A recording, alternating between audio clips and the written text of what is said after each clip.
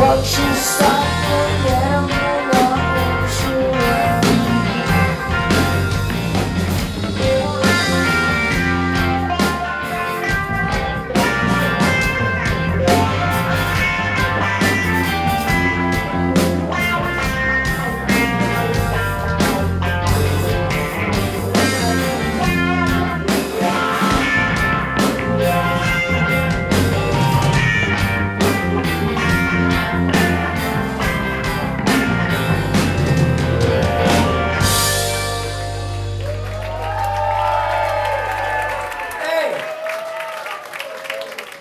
Ja ih molim da se prozezamo malo.